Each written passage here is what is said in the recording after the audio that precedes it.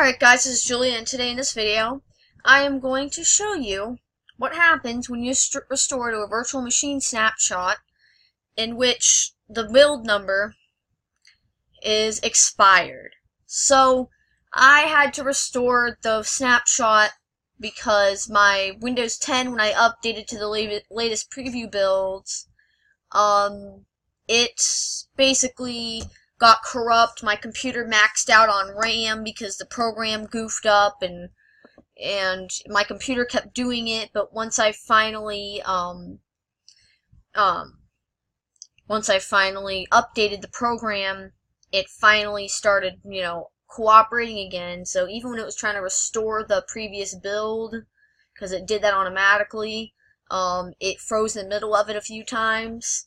So the OS kind of got corrupt because I couldn't update to the latest build. It kept giving me an error. It kept saying my settings are wrong, and when I told it to fix, it said something went wrong and gave me some error code. I think it was like error code 0x800700005, and I think that's a permission error access denied or something. I don't know why it was doing that, but it said my insider settings needed attention, and I needed to fix it in order to get builds, but when I tried to fix it, it wouldn't let me. So I restored to the snapshot, which is, as you can see, the working Windows 10 upgrade from 8.1. So I used one of my old Windows 10 ISOs and just upgraded it from 8.1. And then after I did it, I made a snapshot. So if something went wrong, I could go back to it at any time, like this goof up.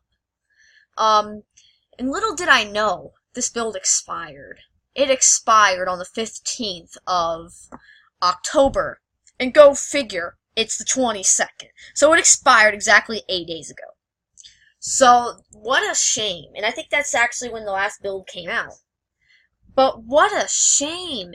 It happened to expire that soon when I really needed that image. It was just a, eight days before I wouldn't have had this issue.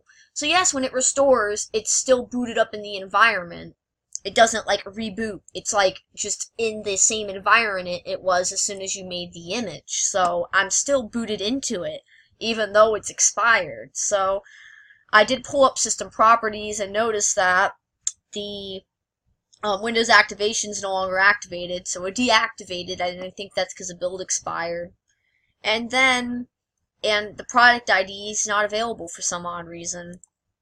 I'll try to activate Element not found. Ooh, element not found. I think that's pretty bad. If you like try to do it and it says that, let me get a snapshot of that real fast because this other monitor is very bad. Okay. Element not found, that's bad. I think because the build is so corrupt because I don't know. It's expired, so nothing's running. It's allowing nothing to run anymore. So that's a nasty error. Anything you click. Oh, see? There you go, guys. So I am going to take a screenshot of that because that's really weird. Okay. You see, the system project community a required certificate within its is not within its validity period when when verifying against the current system clock. Ooh, that means the build is expired, guys. That's what that means. So, in other words, I this whole machine is unusable. Literally unusable. Even though it looks like it's fine, it's not. Nothing works anymore. I can't go in any apps. I can't go in the settings. I can't go in a single thing. The reason why?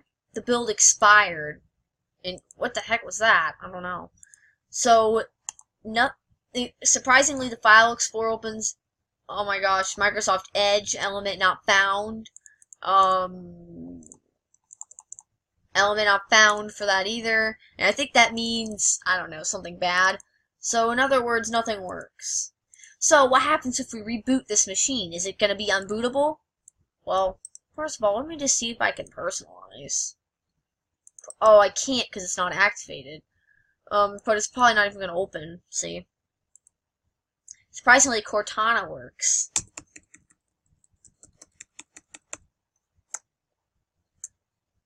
So, oh, something nasty. It says event viewer. Let's try to go there. Ooh, same thing. See, this looks like the whole, it looks like I destroyed it, like deleted stuff. That This is what this looks like. So, absolutely nothing opens. Well, system opens for some odd reason. And that opens too. But, some of these things are opening, like the control panel is letting us open it. Oh, it does have the guest additions. Mmm. But nothing's in the control panel. Okay. That's cool. So let's just try to reboot. But before we do that, let's just try to run. No, run works. And let's try, um, like, what's a command? CMD. Oh, it works that way okay, you want to run stuff, you can run from there. But anyways, let's reboot and see what happens. Now, it's probably, obviously, you probably already know what's gonna happen. It's not gonna boot up, that's right. Um, so unfortunately, I'm gonna have to reinstall 8.1 again and upgrade from that again. And then enable insider builds and start over in order to see the new builds because my snapshot expired because the build expired. Oops. Uh, I should have used a newer build. I don't know why I didn't use the RTM of Windows 10. Why didn't I use that? To be honest, I have no clue. Um, okay, what was that? Alright, let's see what happens. Did we destroy it? Oh, okay. That's what happens. It needs to be repaired, a component and the op of the operating system is expired, and it has um, file winload.exe, and there's a year code. If you look that up, it probably says it expired. So, ugh, darn it.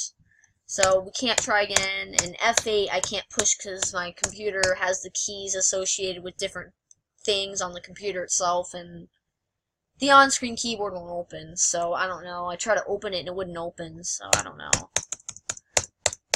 So yeah it's not going to work. So, warning guys, make another snapshot of the newer builds. So, don't just make one, make more than one. Because you may go back to a too old one to where it won't even work anymore. And I looked up the Windows 10 expire dates, and I'm going to look it up again and show you guys. Um, so, if I pull this up again, and I go here, you do notice for the expire dates, I think it was 10166 and it just expired. Just expired. Go figure. It expired. It's done. So that's what happens. So now I have to reinstall it again. Oh, whoop-de-doo. You can see it doesn't have C, it just has slash windows. Weird. Hmm. Well, thanks for watching. That's what happens. It will completely, if you were to leave your computer on the whole entire time or make a snapshot like I did, and just let it sit there until the expire date, you guys will see what happens. And that's exactly what happens. If you guys were wondering, it'll stop working at all, even if you're still using the operating system, even if it's still booted up, it'll stop working because nothing will work. So, kind of crazy how you can't use a beta forever. Um, this happened on one of my other computers. I had the old build on or something. I tried to boot it up, and this happened. Oops. Well, thanks for watching, guys. Hopefully you guys won't make the same mistake I did, because, let me tell you, you always learn from your mistakes, so thanks for watching, guys, and I won't, I won't do that again. I won't do that again. Because, ugh, that's annoying. So thanks for watching. Hope you guys enjoyed this, and bye-bye for now. And darn it! It should have expired. Why? Alright, bye-bye.